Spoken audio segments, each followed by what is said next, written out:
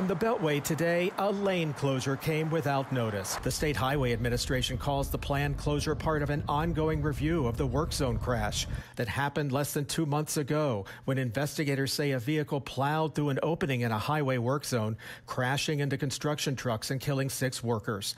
Sources tell us that some of those victims had repeatedly complained about safety issues in the work zone, asking that the lane of traffic closest to the work zone be shut down.